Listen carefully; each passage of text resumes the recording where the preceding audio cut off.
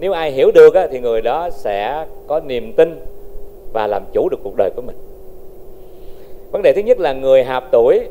Ở đây theo chúng tôi định nghĩa người hạp tuổi là những người biết lắng nghe và thấu hiểu mình.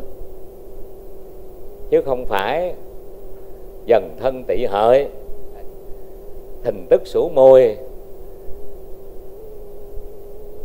hay là thân tí thình tam hạp không phải mấy cái này theo chúng tôi đọc cho nó nghe nó suông vậy thôi. À.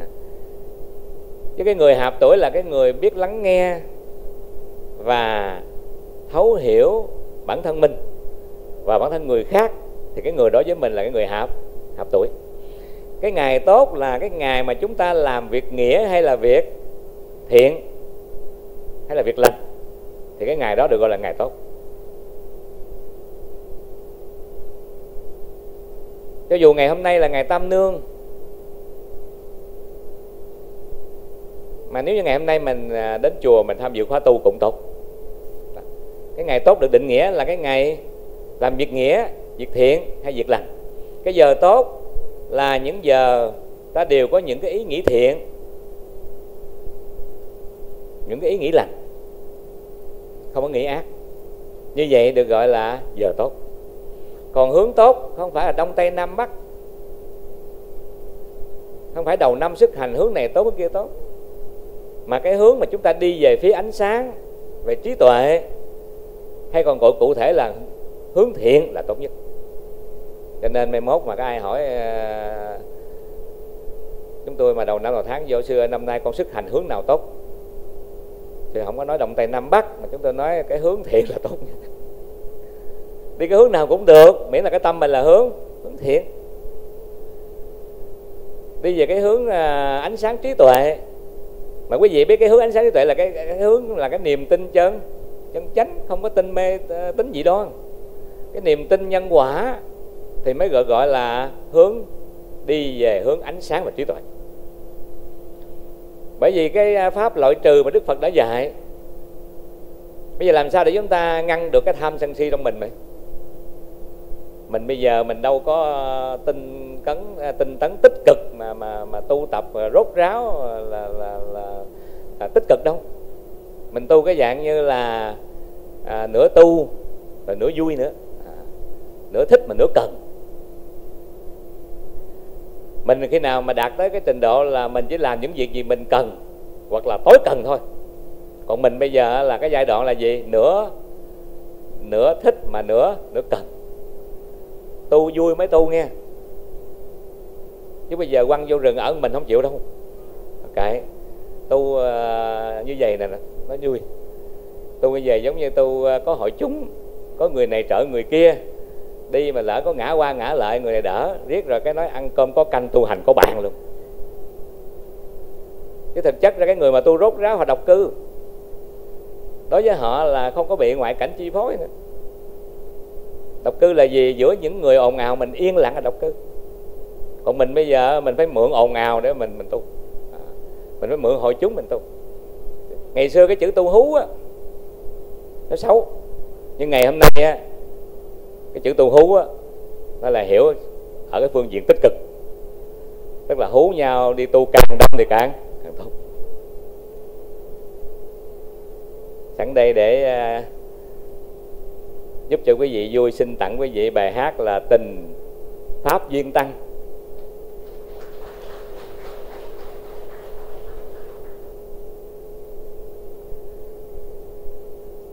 Được viết theo cái bài tình bắc duyên nam. Với cái ý là cái duyên này nó trợ cái duyên kia. Có nghĩa là phải hú nhau đi. Người này hú người kia người kia hú người nọ rồi cùng nhau đi tu. Cho nên cái cái chữ tu hú á, ngày xưa thì ám chỉ cho cái người tu không tốt, nhưng mà ngày nay là tu tốt á. Hú được nhiều bạn bè đến để mà tu, tại cái thời nay nó nó hạ thấp xuống cái tiêu chí rồi. Cái quá trình tu chúng ta có hiểu qua từng giai đoạn. Giai đoạn thứ nhất giống như là mình chỉ làm những gì mình thích thôi, là giai đoạn đó giai đoạn hoàn toàn xấu, dù cho ác hay thiện mình cũng làm miễn mình thích. Mình không có tránh tránh ác. Nhưng mà giai đoạn này của mình là giai đoạn nó tiến bộ hơn chút. Là giai đoạn là mình chỉ làm những cái gì mà mình mình thấy cần. Mà trong đó cũng có nửa thích, nửa cần. Tức là đi tu mà cũng phải có bạn đồng tu, có người này người kia trợ duyên, hú nhau mà đi tu. Cho nên xin mời quý vị thưởng thức à, bài hát tình pháp duyên tăng. Phật từ la từ Hai Tư đã qua dòng sông liên thiền tìm đến bồ đề ngồi thiền quán tương ôi hạnh phúc duyên thai từ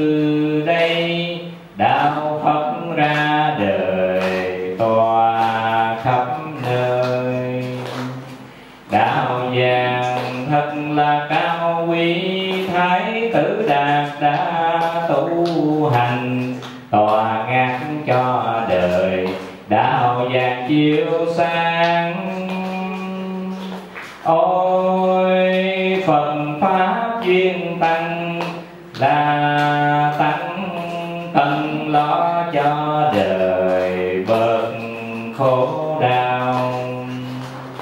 Cùng chấm bàn tay quá sen nhiễm màu, kính lễ phật đà với một niềm tin. Chúng à, vui cho muôn hương đời bớt một niềm đau. Ngày mai hạnh phúc nơi nơi reo cười, đau thương nơi đâu sau bi tham ái cách chia. Ta đem yêu thương về cho nhân thế. Tìm về tìm về ban chân đất bóng từ bi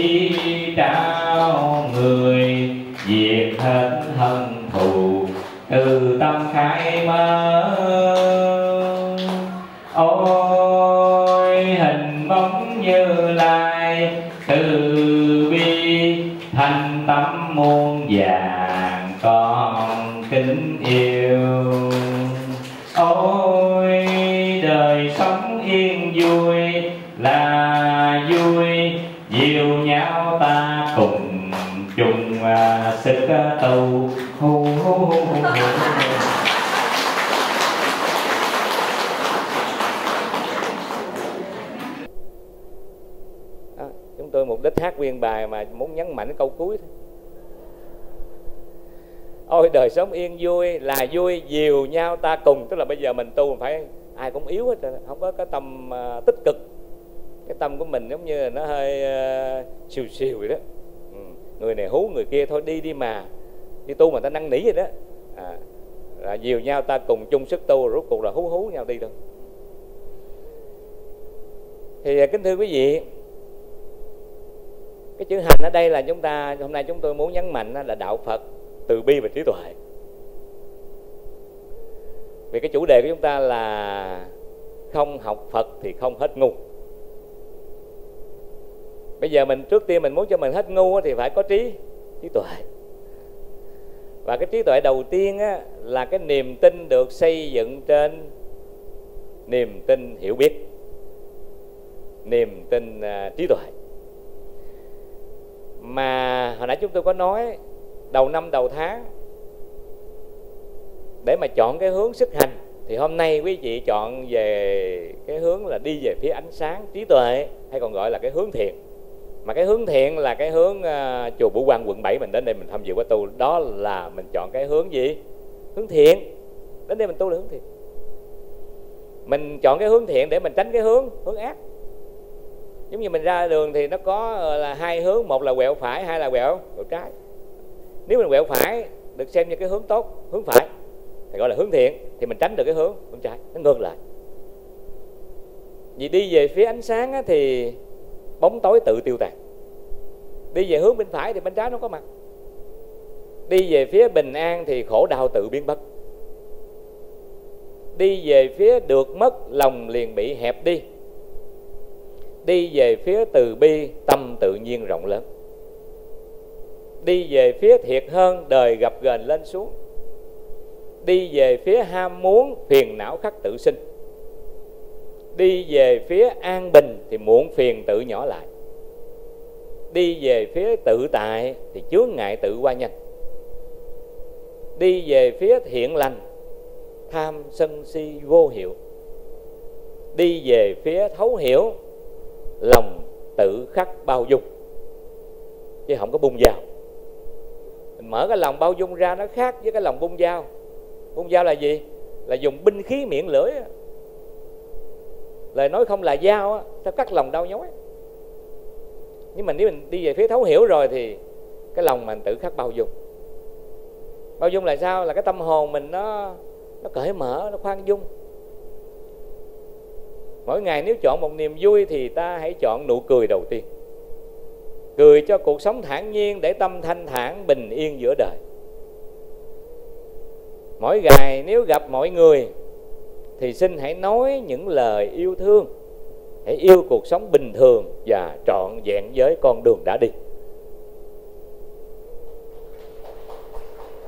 Đời chỉ đẹp khi lòng ta cởi mở, biết khoan dung và khắc phục chính mình trải lòng từ đến tất cả nhân sinh để từ đó dường qua tâm hé mở. Cuộc đời cần phải vui tươi. Gặp nhau nên có nụ cười trên môi. Nếu không quan hỷ thì thôi xin đừng quan trái luân hồi khổ đau. Như vậy thì mình đi về cái hướng thiện á, để mình tránh cái hướng ác mục đích của chúng tôi là vậy. Mà chúng tôi xin báo quý vị nghe nghe mình đi về hướng thiện mình làm thiện nói thiện hành thiện hay nói chung là mình đang uh, thực hành nghiệp thiện tu tập cái nghiệp thiện. Thì cái người mà tu tập cái nghiệp thiện mình phải hiểu rằng nghiệp thiện là cái nơi nương nhờ nương tựa để tất cả chúng ta có thể thoát khỏi mọi khổ đau. Và nghiệp thiện này cũng là duyên cho kiếp sống không phiền não cái này nó quan trọng. Mình cứ hành thiện. Mặc dù có nhiều người nói sư thưa sư ơi mình làm phước hoài á, thì nó cái có phước hữu lậu. Nhưng mà xin thưa với quý vị cái phước hữu lậu này nó là nền tảng để mình nương tựa cho tất cả mọi người có thể nương tựa vào đó có thể thoát khỏi mọi khổ đau. Còn nghiệp ác thì muôn đời nó không có là cái chỗ nương để mình mình thoát khỏi mọi khổ đau. Và nghiệp ác cũng không thể là duyên để mà chúng ta sống một cái đời sống không phiền não chỉ có cái nghiệp thiện thì nó mới là duyên cho chúng ta có một cái đời sống không phiền não. Ví dụ mình hành cái pháp bố thí cúng dường là mình đang thực hành một cái hạnh gì? Xả ly, không tham. Tham là một cái nhân để phát sanh phiền phiền não. Mà mình hành một cái gì đó mà nó dẫn đến cái sự không không tham thì đó sẽ là duyên cho một cái đời sống không có phiền phiền não ở đây, kính thưa quý vị, chúng ta phải hiểu phước báo thật sự không nằm ở cái chỗ tài vật có được. Nghe cho kỹ, có nhiều người có thấy mình có nhiều tài vật, cái mình nói là đó, mình có phước báo. Thì cái đó cũng là một cái từ.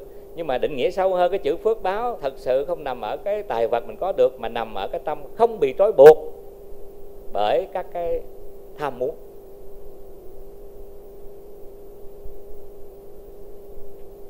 Chúng ta phải hiểu nó sâu hơn chút, cái chữ phước báo mình cứ nghĩ mình có nhiều tài vật có nhiều thứ là mình nghĩ là mình có phước báo.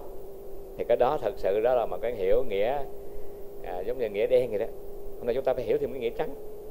Là phước báo á, là cái tâm chúng ta không bị trói buộc bởi cái sự ham muốn của mình. Thì đó mới là người có có phước.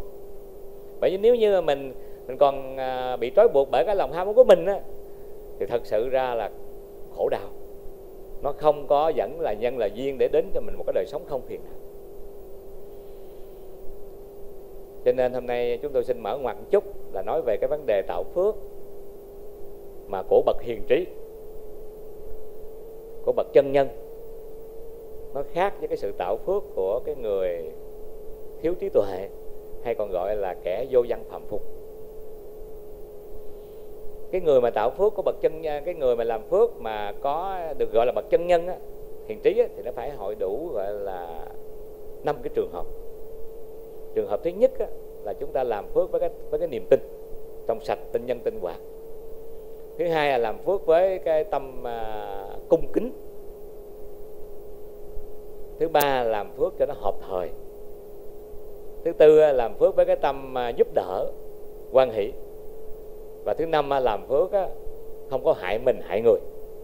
Cái gì nhớ năm cái cái cái cách mà bố thí cúng dường của bậc chân nhân. Cái người mà bố thí có niềm tin á, đời sau sanh ra được cái nhân bố thí là giàu có nhưng mà lại thêm cái cái, cái, cái, cái sắc tướng của người này lại là xinh đẹp. Cái chữ xinh đẹp ở đây á chúng ta phải hiểu không phải là à, đẹp như hoa hậu là đẹp cái xinh đẹp ở đây là đẹp của cái người có duyên. Có duyên. Ta nói thà xấu mà có duyên đó. Cái người đó họ xấu nhưng mà nhìn họ là thấy nó có duyên, có thiện cảm. Là nhờ đời trước họ làm phước, họ giàu mà lại họ có cái niềm tin. Có những người bây giờ họ giàu có lắm, nhìn họ cũng sắc sảo lắm.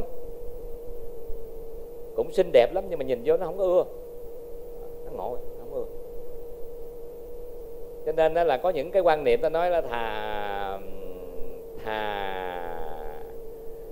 không có gì còn hơn có mà không ra gì cũng mệt. Thà ít mà thật lòng còn hơn nhiều mà giả tạo. Thà đẹp giả tạo còn hơn để xấu tự nhiên. Đó là mấy người mà họ họ, họ chủ trương này đi sửa này sửa nọ. Nhưng mà cái người ta có phước thà xấu mà có duyên đúng không? Còn hơn đẹp như tiên mà bị khùng. Chảnh quá không được. Cho nên đó là cái chữ chúng ta hiểu cái chữ mà xinh đẹp ở đây là cái người mà họ có cái đức hạnh. Tại cái cái cái cái cái chữ à, vẻ đẹp của con người nó không nằm ở cái sắc diện mà nằm ở cái đức hạnh của người đó. Nhìn vô cái mình thấy nó có cái gì đó là ưa mến thứ hai là mình à, mình làm phước với cái tâm gọi là cung kính tôn trọng tôn trọng cái đối tượng mà mình làm phước. Mà thường thì mình có những cái, cái sự tôn trọng đối với cái đối tượng là như là các bậc trưởng thượng ông bà cha mẹ các bậc sa môn bà la môn mình có mà những cái người khác nhiều khi mình không có. Muốn có được cái này chúng ta phải có trí tuệ một chút là chúng ta phải hiểu rằng những người này họ là cái người ân của mình. Nhờ họ mà mình mới làm phước được cái này nó khó suy nghĩ lắm thí dụ như mà bây giờ mình sanh lên cõi trời thì mình không bao giờ bố thí cho ai được thứ nhất trên đó không ai thiếu hết không thể nào mình cho được. Cho nên cái kiếp người á, là cái kiếp mà chúng ta tạm gọi là nó có điều kiện để mà chúng ta tu tập nhất. Mà mình không chịu tu nữa thì không biết cái đợi cái cõi nào mình tu. Đức Phật ngày không chọn tất cả các cõi khác ra đời mà ngày chọn ngay cái cõi người để mà ra đời. Cái cõi người này kính thưa quý vị mình tạm gọi là cái cõi mà để cho chúng sanh dễ thức tỉnh nhất có vui có buồn có sướng có khổ có đẹp có xấu à, vân vân và vân vân. Để mình mình dễ thấy. Đằng này mình còn không thấy. Nói cái cái sự vô thường mà nó ngay trước mắt mình đây mình còn không thấy. Quý vị thấy vô thường nó nhanh dữ lắm. Rất là nhanh. Mới đó mà mình thấy bạc đầu rồi là mình còn chưa chịu thấy nữa. Thật sự là như vậy. Cái vô thường nó đi qua từng từng ngày từng phút từng giây vậy đó cho nên là mình phải cảm ơn cái đối tượng tạo điều kiện cho mình để mình có dịp để làm phước. Và thứ ba là mình phải hợp thời, đúng lúc. Nhiều khi mình giúp đỡ không hợp thời lúc đó nó phản cái tác dụng. Và thứ tư là mình phải giúp hoàn toàn với cái tâm tiếp độ, giúp đỡ, quan hỷ. Quan hỷ mới làm, nghe không quan hỷ đừng làm. Mình làm như vậy thì cái phước nó không trọn vẹn. Cái người mà làm phước với cái tâm mà tôn trọng tôn kính. Đời sau sanh ra giàu có nhưng mà được nhiều người kính nể. Hiện nay mình thấy có những người giàu mà kính nể có những người giàu mình không kính nể không tôn trọng. Cái người mà làm phước với cái tâm ờ, với cái lúc mà hợp thời đó, đời sau sanh ra cái sự giàu có hưởng phước của họ nó trọn vẹn cả kiếp người. Từ nhỏ cho tới già cho tới mất luôn. Có những người quý vị thấy họ giàu từ trong bụng mẹ từ trong trứng nước cho tới ngày họ nhắm mắt họ vẫn còn giàu còn mình á, nhiều khi giàu xong có khúc người có lúc. Hôm nay giàu chứ mai không biết có giàu nữa không? Rồi nhiều khi hồi nhỏ mình giàu lớn lên cái mình hết giàu hồi nhỏ mình đầy đủ lớn lên cái mình thiếu thốn. Hồi nhỏ mình thiếu thốn hoặc lớn lên mình mới đầy đủ. Thì cái này nó không có cái sự xuyên suốt. Rồi cái người mà họ làm phước với cái tâm gọi là quan hỷ giúp đỡ người khác đời sau sanh ra quý vị biết không? Họ có phước mà họ hưởng được phước. Cái này quan trọng. Tức là họ sử dụng đúng cái, cái vật chất tiền bạc của họ. Có niềm vui. Rồi cái người mà làm phước mà không hại mình hại người đời sau sanh ra cổ cải của họ sẽ không có bị tiêu hoại bởi những cái trường hợp như là quả hoạn nước cuốn trôi hay là bị du quan tịch thu, hay là bị à, kẻ trộm đấy. Cho nên, chúng ta phải tu là chúng ta phải hướng thiện cho nó hoàn toàn.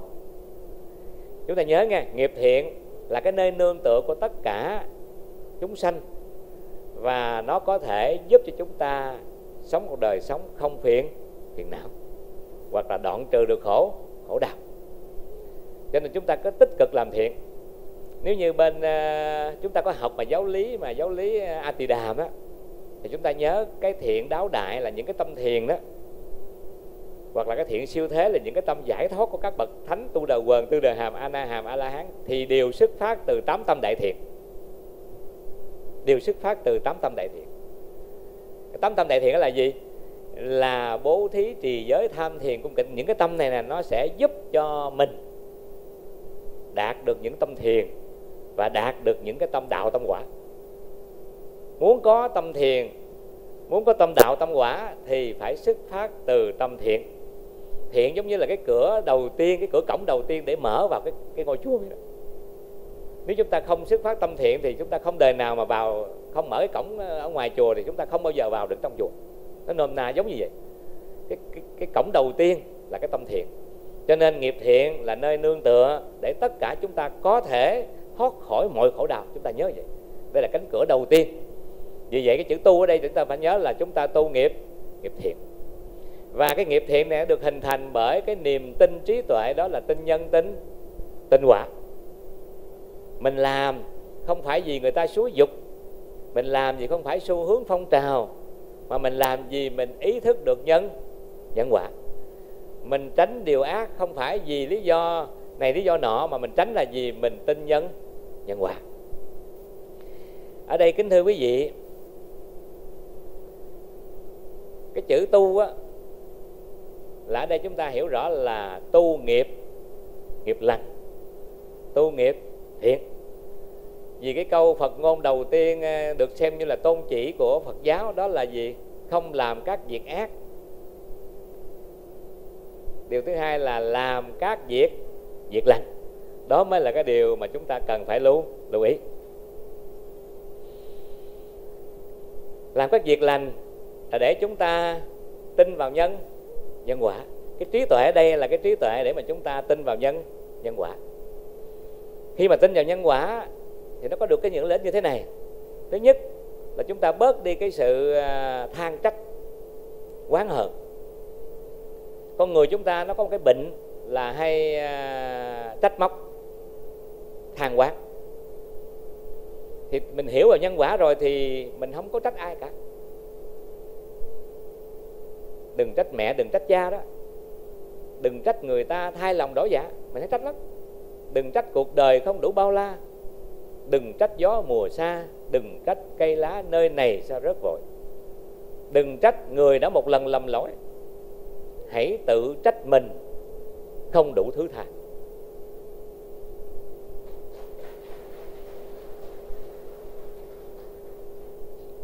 Rồi chẳng những mình à, trách rồi mình than nữa. Nó gọi là trách than đó. Mình than riết rồi cái người ta nói con người có cái bệnh hay than. Mà quý vị biết cái gì mà được lặp đi lặp lại hoài thành cái thói quen? Nhiều cái suy nghĩ nó dẫn đến là nhiều cái hành động. Nhiều cái hành động nó dẫn đến nhiều cái thói quen nhiều cái thói quen nó dẫn đến nhiều cái tính cách. Là cái bà đó bà hay than lắm. Tính cách của bà là vậy mặc dù bà giàu vậy đó nhưng mà đụng là bà than đụng là bà than. À, tính cách mà. Để lặp đi lặp lại. Rồi nhiều cái à, tính cách đó nó trở nên cái số phận của người cho nên mình có trí tuệ đặt sâu vào nhân quả thì mình sẽ được một cái lễ thứ nhất là không có than giả. dạ, than riết mà người ta nói rằng là có cái bài thơ hay than luôn mà nhỏ mình than nó chỉ lớn lên cũng than. Người lớn thường than thân trách phận. Đời là bể khổ nợ với nần. Quan gia muôn kiếp nay phải trả. Nếu đã vậy rồi, ai hưởng đây? Quy lực tự nhiên đã tạo gây. Trên dưới phải trái dọc hay ngang, xin đừng nghĩ lệch hoặc bi quan, phán xét cơ duyên cho rõ ràng khi yêu thì hy sinh cả tánh mạng. Chỉ dài ba năm đã phàn nàn. Lúc cô đơn thì muốn đôi muốn bạn. Nên vợ chồng sao lại hay nhăn? Người khổ than, người sướng cũng than. Không con hay có rồi cũng than. Không con ước được nựng cục vàng, có con khổ mệt, nợ nần mang.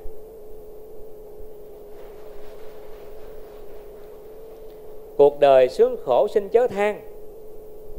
Tinh thần thoải mái nghĩ lạc quan. Hãy dùng trí tuệ nhìn tổng quát sâu sắc thông suốt tâm nhẹ nhàng. Đó.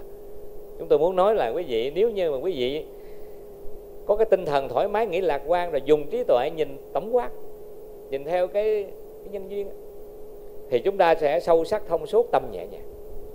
Bởi cái quy luật như thế này bi quan là tự sát đó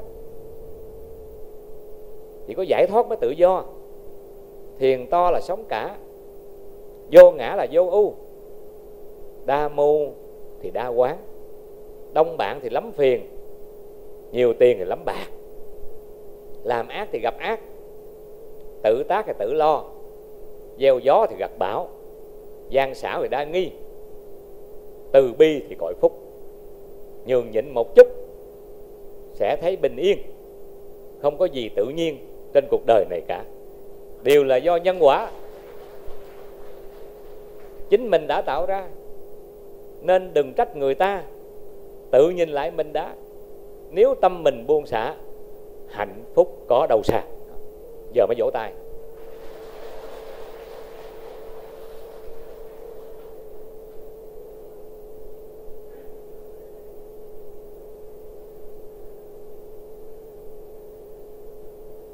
Cho nên cuộc đời sướng khổ sinh chớ than mà chúng ta luyện được cái này ra hay mà chúng tôi báo cho quý vị biết không? Có nhiều người ta nói than mới ra tiền. Bậy. Than nó ra khổ.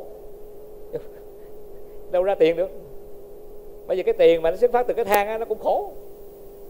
Cho nên là than là cái tâm u sầu. Mà cái tâm u sầu là cái tâm gọi là tâm sân. Mình có ba cái phiền não tham sân. Mình than là tâm sân mà tâm sân là tâm bất thiện. Cho nên cái người tu phật là cuộc đời sướng khổ sinh chớ than. Tinh thần thoải mái nghĩ lạc quan. Đó. hãy dùng trí tuệ nhìn tổng quát. Mình phải nhìn qua cái lăng kính trí tuệ là nhân quả hết. Thì à, sâu sắc thông suốt tâm mới nhẹ nhàng. Còn mà mà mình cứ nghĩ là là, là cứ hãy gặp ai than gặp ai than để mình mình lấy cái tình thương lấy cái sự chia sẻ của người khác. Thì kính thưa quý vị là nó có cái cái khổ đau bữa nào mà mình ờ, quên than cái là khổ đó. Và mình phải hiểu rằng là ta sanh ra đời để trả nghiệp. Sao nhiều người lại cứ thở với than? Lại quán trách sao cuộc sống quá phủ phàng? Tội gì đâu mà cứ đài con mãi. Đã là người am hiểu lời phật dạy, hãy chấp nhận với cuộc sống hôm nay.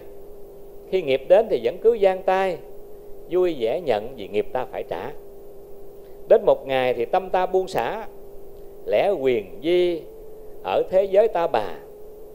Trong đạo lành sẽ khai mở tâm hoa, liền khi đó tâm ta là giác ngộ đó. Như vậy thì cái than nó không có dẫn đến giác ngộ.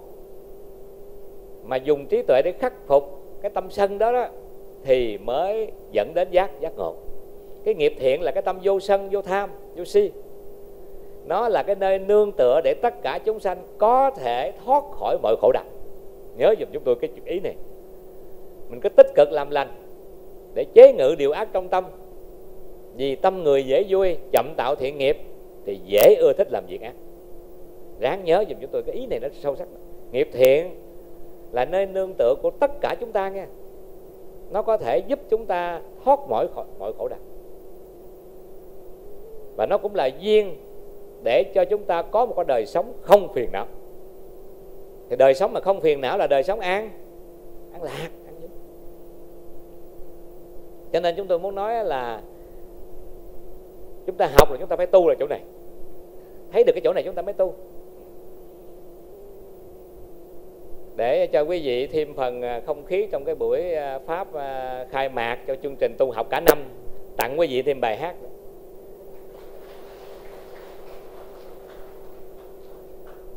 là về chùa để tu chứ không phải về chùa để chơi con đến chùa tha thiết nguyện lo tu, chứ không phải chơi nghe.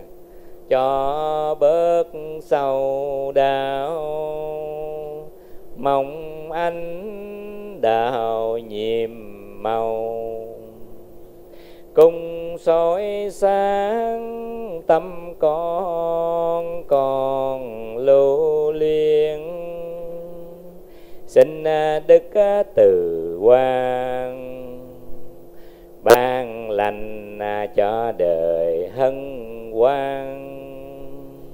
Tâm vốn lành, nhưng bởi vì tham danh sai đắm à, mong mơ, tâm à, dương niệm muôn phiền. Đừng quan trách thêm chi điều quan trai duyên kiếp nào mang, phải đâu đổ lối cho đời từ đây nên sống về nguồn. Vòng tâm sao lắm muôn phiền. Tu tâm so nhỏ đau thương. Tình tâm lòng không tiếc nuối xa rồi, ưu phiền năm xưa con vẫn ngồi, nghe pháp từ gian xa. Tâm vẫn bình tâm chân lý rồi lòng trần. Từ bi quán sanh linh còn đau khổ. Nhưng vẫn niềm tin, pháp lưu dòng đến muôn người. Từ bi quán, sanh linh còn đau khổ. Giữ vững niềm tin, pháp lưu đến muôn người.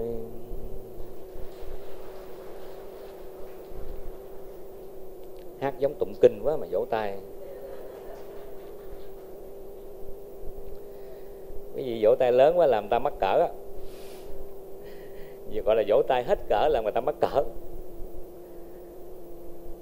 Ở đây thì à, cái mục đích của chúng tôi là chúng ta đến chùa để mà mà tu, đúng rồi bây giờ mình học mà không tu thì nó uổng.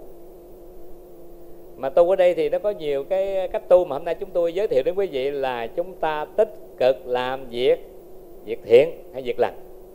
Nhớ. Không có cái hướng nào bằng hướng hướng thiện. Nhớ nghe. Mai mốt ai hỏi mình về ngày giờ tốt xấu, hướng nào tốt xấu thì trả lời ngay cho chúng tôi rằng là ngày giờ thiện là tốt mà hướng thiện là tốt không có hướng nào tốt bằng hướng thiện hết. Vì nãy chúng tôi nói rồi cái hướng thiện á, là cái nơi nương tựa cho tất cả chúng ta có thể thoát mọi khổ đau. Thì quý vị thấy cái gì mà nó giúp mình để thoát mọi khổ mọi khổ đau thì cái hướng đó thì quá là cho nên ngày đầu năm đầu tháng dứt khoát bớt đi cái sự à, mê tín. Bớt đi vào cái sự à, dị đoan. Vì mình phải tin sâu nhân nhân quả ai thường giải hạn cúng sao? Cầu an siêu độ mong bao điều lành. Nhớ rằng lánh giữ làm lành không cần cúng bái cũng thành bình an. Bây giờ quý vị lánh giữ làm lành thì chắc chắn một trăm phần trăm là mình mình đi theo nghiệp nghiệp thiện rồi. Nghiệp lành rồi. Mà nghiệp thiện, nghiệp lành là gì? Giúp cho mình nó an. Mà quý vị biết không? Chúng tôi nói cái điều này thì quý vị thấy hết hồn nha hồi nãy chúng tôi nói rồi phước báo không phải là ở cái chỗ chúng ta có nhiều thứ mà ở chỗ là chúng ta không bị lệ thuộc vào tâm tham ham muốn. Mà ngay cái lúc mà quý vị làm việc thiện đó là chúng ta đã thoát ra khỏi sự lệ thuộc của ham muốn. Chứ không phải làm phước sao mà ngồi mong cho, mình mau hưởng quả là chết. Hiểu cái chúng tôi nói không? Không phải làm phước xong để mong để sao mình được giàu nữa là chết nữa nó không phải cái phước báo ở đây mà sẽ hiểu nó sâu một cái ý nghĩa hay hơn. Ngoài cái nghĩa mà chúng ta có đầy đủ, mà ở đây chúng ta hiểu nó là một cái không bị dính mắc lệ thuộc vào cái sự ham. Không bị chi phối bởi cái sự ham muốn. Mình còn bị chi phối bởi sự ham muốn thì cái cái đó vẫn còn khổ đau. Để mình hướng đến một cái gì đó cao hơn, thì ngay khi mình làm thiện, ngay khi mình làm thiện, tức là mình đã thoát khỏi mọi sự ham Đáng lý hôm nay chúng tôi giảng cái bài pháp là mùa xuân chánh pháp và mùa xuân cuộc đời. Hay là niềm vui chánh pháp, niềm vui cuộc đời. Ở đây nó có hai cái niềm vui. Một là niềm vui chánh chánh pháp. Quý vị hiểu cái niềm vui chánh pháp là gì không? Là niềm vui trong cái nghiệp nghiệp lành, hay là nghiệp thiện, hay nói cụ thể là niềm vui trong cái nhân lành đó. còn niềm vui cuộc đời là niềm vui trong cái gì? Quả lành. Mình hưởng được cái quả lành đó, mình có niềm vui. Thì cái đó gọi là niềm vui của cuộc đời. Mà giữa niềm vui chánh pháp và niềm vui cuộc đời, chúng ta chọn cái gì? Chánh pháp. Tại cuộc đời, niềm vui cuộc đời đó là vui đó là khổ đó. Là cuộc đời mà, đúng không? Cái niềm vui cuộc đời là chúng ta biết chắc chắn là vui đó có khổ. Chỉ có niềm vui chánh pháp mới là cái niềm vui không khổ là niềm vui trong cái nhân lành. Bây giờ quý vị bớt đi cái niềm vui trong quả lành đi. Dứt khoát từ đây về sau không có cái vụ mà mình mong cho cái quả lành trổ ra nữa mà mình mong làm sao có được nhân. Nhân lành để mình tạo.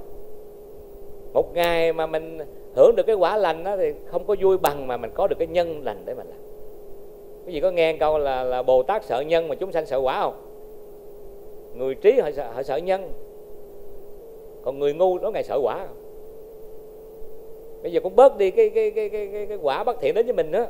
Ngồi đó mà lo sợ mà có tránh được không? Khi nghiệp đến không tránh được. Quả dị thục đến rồi là chạy đâu cũng không thoát khỏi. Này là phật dạy cho dù bay dút lưng trời cho dù đáy biển trốn thời được đâu cho dù núi thẳm hang sâu không nơi nào thoát. Quả sầu đã dẹp. Cái quả sầu nó đến rồi thì thôi ở nhà cũng buồn nữa. Đến chùa cũng buồn luôn có nhiều người à, ở nhà buồn đến chùa cho hết buồn mà rút cuộc đến chùa buồn. Cho nên, bây giờ mình tập vui trong cái nhân nhân lành. Từ đây về sau, đến chùa thắp hương cầu nguyện đức phật phù hộ cho con, làm sao có nhiều cái dịp, cái duyên, cái nhân để cho con làm làm lành. Mong làm sao bệnh dịch nó mau hết để mình à, đến chùa để mình tham dự khóa tu. Chứ đừng mong làm sao cho con trúng số là chết. Cái người mà mong trúng số là cái người đó mong ờ, gọi là, cái gì? Quả lành hay nhân lành? Quả lành. Cứ mong mình hưởng phước. Mà trong cái đó không mong để có cái nhân lành. Mà chúng tôi báo cho quý vị biết, nếu mà mình mong hưởng phước thì cái phước nó giảm đi. Đúng không? Giống như tiền trong tủ mình mình xài thì nó giảm đi. Mình mong làm sao mình đem ờ, nhiều cái nhân lành đó để mình tạo nhiều cái phước ra nữa như vậy thì giữa cái niềm vui chánh pháp và niềm vui cuộc đời là chúng ta dứt khoát là phải chọn niềm vui chánh pháp. Hôm nay chủ nhật, ai rủ đầm sen, suối tiên, du lịch picnic giả ngoại, hoặc là đi ăn đám cưới, và hai là đi chùa Bủ Quan tham dự khóa tu, chọn cái nào? Chọn cái nào? Đúng không? Chắc chưa? Chùa Bửu Quan là đi uh, chọn cái niềm vui uh, trong cái nhân lành hay quả lành chánh pháp. Còn đi uh, đi chơi để hưởng phước là chọn cái gì? Giờ hai cái này chọn cái nào? Chọn chùa Bửu Quan phải không? Chắc chưa? Thí dụ giờ thí dụ ngược lại là thí dụ khác chút xíu là một là hôm nay đi chùa Bửu Quan để có niềm vui chánh pháp hai là ở nhà, chiều nay trúng trời giấy số để hưởng niềm vui cuộc đời thì ở hay đi? Đó, cười. Không dám trả lời. Cười trừ. Một, sáng nay đi chùa Bửu Quan để có niềm vui, nụ cười chánh pháp, niềm vui chánh pháp. Đúng không? Hai là không đi Bửu Quan ở nhà, bắt buộc ở nhà để chiều nay trúng tờ giấy số đặc biệt để hưởng niềm vui cuộc đời. Ở hay đi? Thưa thầy, con ở. Ở xong ngày mai con mới đi. Ngày mai làm gì còn có dịp để mà tu nữa. Nó qua rồi. Không ai tắm hai lần trong một dòng sông. Những cái cơ hội mình bỏ qua rồi mình tưởng đâu là hồi tháng này không tu, tháng sau tu là chết. Thấy chưa? Không cho nên xét lại cái tâm mình. Xét lại cái độ tin sâu nhân quả của mình có nhiều người nói, thôi sư, thôi, bây giờ con không bỏ được. Thôi, để chiều con con trúng tỷ số rồi con đi chùa nhiều hơn nữa. Không được. Cái đó là mình chưa tin sâu nhân quả. Nếu mình tin sâu nhân quả rồi, dứt khoát hôm nay đi chùa Vũ Hoàng thôi. Vì sao? Vì nếu như chiều nay mình không ở nhà, mình không có tỷ số đó, thì cái tỷ số nó có mất không? Nếu có phước của mình mất không? Không. Đúng rồi, chính xác. Không mất. Vẫn còn đó. Chính xác. Cô nói hay. Hôm nay không trúng thì ngày mai trúng ngày mai không trúng thì tháng sau nó trúng. Mà năm nay không trúng thì năm sau nó trúng. Mà năm sau nó không trúng nữa thì kiếp sau nó trúng. Mất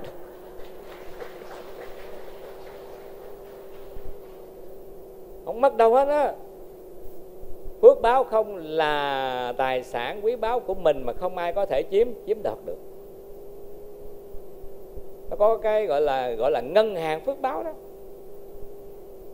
Qua bao năm tháng cuộc đời bây giờ mới biết tiền lời ở đâu.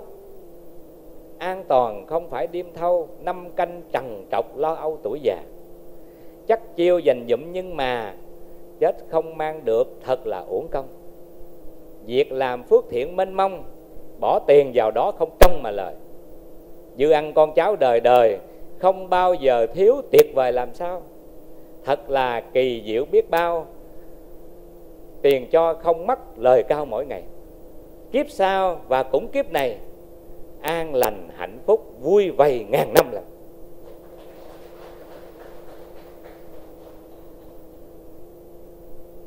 Này Phật dạy đó, nay vui đời sau vui, làm phước thì hai đời vui.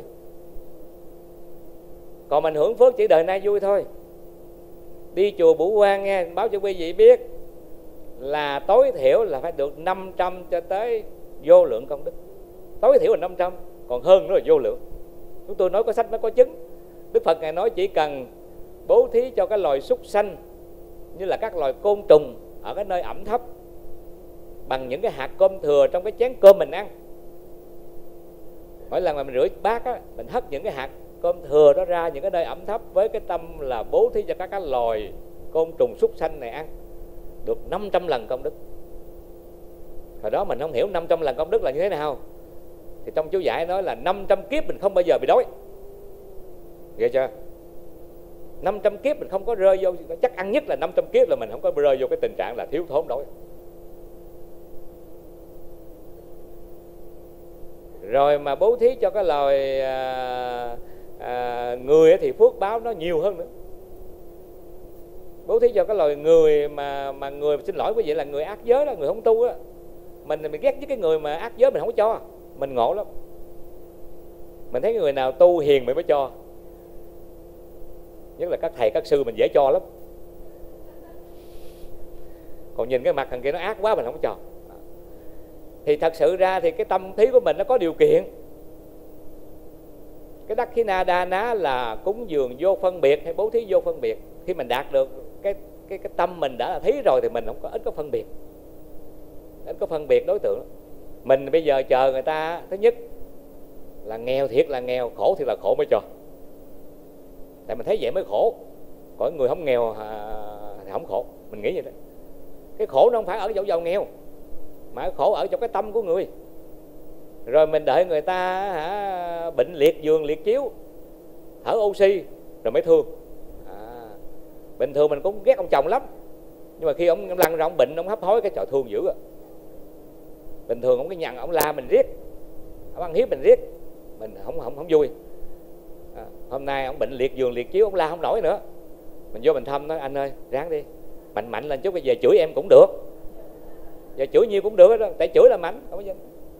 Mình bây giờ là mình phải nhìn vô cái hình ảnh như vậy thì mình mới thương. Nhưng mà cái người mà họ có trí tuệ thì không phải như vậy. Họ nhìn tất cả chúng sanh ai cũng khổ nghe. Người khổ cách này người khổ cách khác nghèo thì khổ theo nghèo mà giàu thì khổ theo theo giàu. Người có quyền thì khổ theo có quyền người không có quyền thì khổ ai cũng khổ. Vậy bằng chứng á, là thường là mình thoát khỏi cái khổ này á, mình mong đến cái, cái cái chỗ khác để an vui thật sự ra mình đánh đổi cái khổ này sang cái khổ khác. Bằng chứng là khi chúng tôi ờ, mới vào chùa á, làm sai di chú tiểu á, thì mình nhìn thấy cái vị trụ trì sướng quá mình cực quá, mình chấp tác, mình làm nhiều thứ cực quá. Mình mới mơ được làm trụ trì. Đúng 20 năm sau lên trụ trì thì mình lại nhìn ngược lại cái ông mà mới vô tu với tử, chú tiểu sai di, sướng quá, mình khổ quá. Mới có cái nỗi khổ trụ trì đó. Bao việc là đè đầu trụ trì hết. Như vậy thì mình có thể hiểu rằng là mình đánh đổi cái cái mục đích mà hy vọng của mình, hạnh phúc của mình là mình đánh đổi cái khổ này sang cái khổ khác khi mình nghèo thì mình có cái khổ của nghèo nhưng mà khi mình giàu thì có cái khổ của của giàu. Thì kết cuộc lại thì ai cũng là cái người đáng cho mình thương hết mới được gọi là không phân biệt. Chứ còn bây giờ mình phân biệt dữ lắm. Thấy ai mà tật nguyền nha. Tật nguyền à, khiếm thị đuôi mù câm điếc tàn tật liệt giường liệt chiếu thương liền. Còn thấy cái bà này bà đẹp mà bà sang bà giàu bà chảnh thấy ghét dứt khoát là không có thương được. Bây giờ không phải như vậy, mình nhìn không phải như vậy. Bớt cái nhìn phân biệt đi, mà mình phải tập nhìn ở cái góc độ là đức phật ngài dạy, thế gian là vô vô thường. Thế gian là đau đau khổ. Ai cũng khổ. Thế gian là vô vô ngã. Đó mà bước thêm một bước nữa là chúng ta phải thấm thẩm thấu qua cái lăng kính cuộc đời là vô thường, khổ và vô vô ngã. Thì kính thưa quý vị hôm nay à, chúng tôi xin mượn hai câu nói nó đơn giản. Quý vị nghe xong đứng lên cái rột nhớ dùng hai câu đủ rồi. Cái gì nó tuột được cho nó tuột đi nhưng mà ráng giữ lại hai câu. Đó là gì? Không học phật thì không hết thành ngu.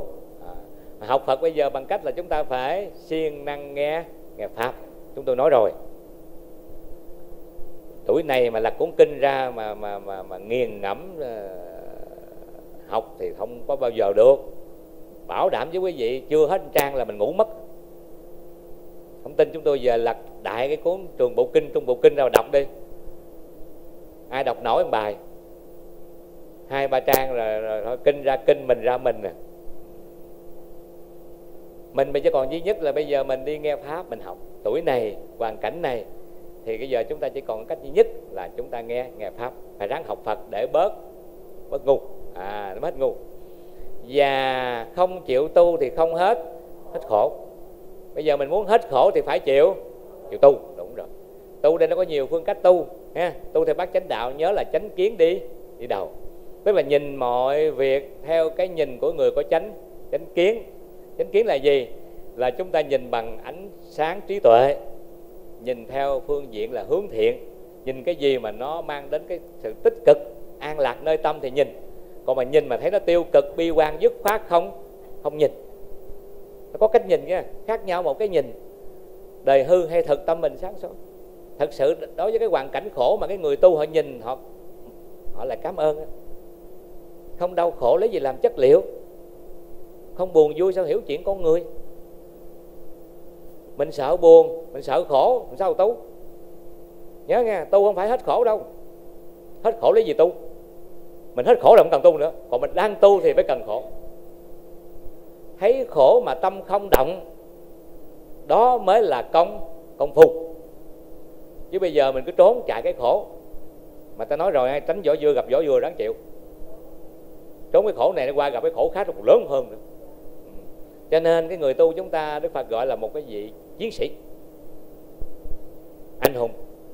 Không sợ sợ khổ mình biến gọi là đau thương ha, à, hận thù thành từ bi hạnh phúc. À, mình nhìn với cặp mắt trí tuệ giảng pháp do duyên dạng sự tùy duyên cứ an nhiên mà sống.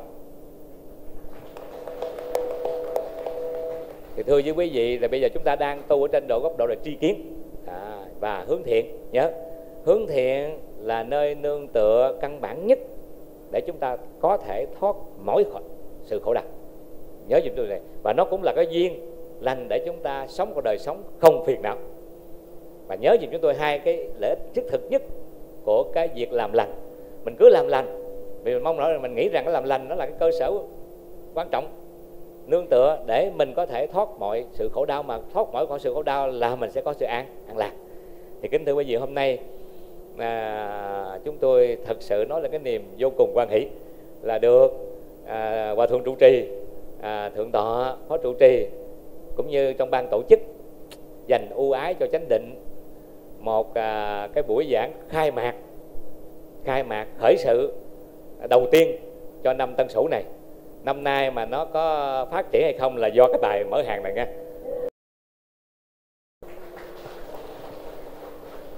cho nên các khóa sau, thứ nhất là phải có mặt đầy đủ và tăng thêm. Chứ đừng có cái chuyện mà đi mây về gió, đi có về không mà đi đông về ít là không được. Càng ngày phải càng đông đông thêm. Theo người Việt Nam mình quan trọng lắm là cái người mở hàng đầu tiên. Đắt hay ế?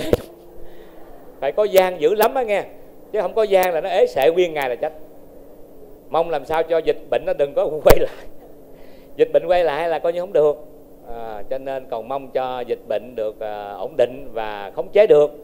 Và các khóa tu chúng ta được diễn tiến suốt một năm à, tháng nào cũng đều có tổ chức và phật tử về tham dự ngày một đông hơn. Đó là lời tri ân của quý vị đối với chúng tôi.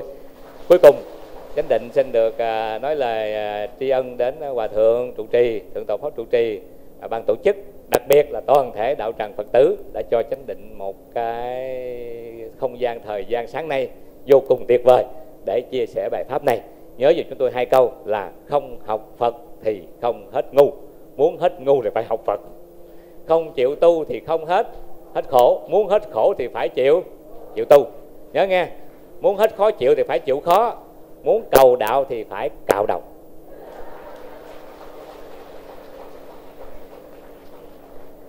Nghe cầu đầu sợ phải không? không có. Cạo. Muốn hết muốn cầu đạo phải cạo cái tâm mình đi, cạo cái tâm phiền não đi. Tạo cái bất bất thiện đi, tham sân si đi. Dạ xin được kết thúc ở đây. Một lần nữa, xin được cảm ơn quý vị rất nhiều. Kính chúc quý vị vô lượng an lạc, vô lượng các tương. Luôn luôn được sống an lành, hạnh phúc trong ánh hào quang từ bi và trí tuệ của đức phật. Nam mô bổn